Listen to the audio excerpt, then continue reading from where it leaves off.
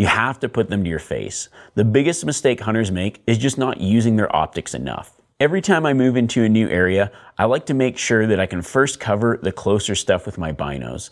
This is one thing that a mistake that people make. They'll walk into an area and they'll blow out a deer that they should have seen. So your dream buck could be closer than you think, and you can immediately start to begin planning a stalk. But if you blow them out, that's not going to happen.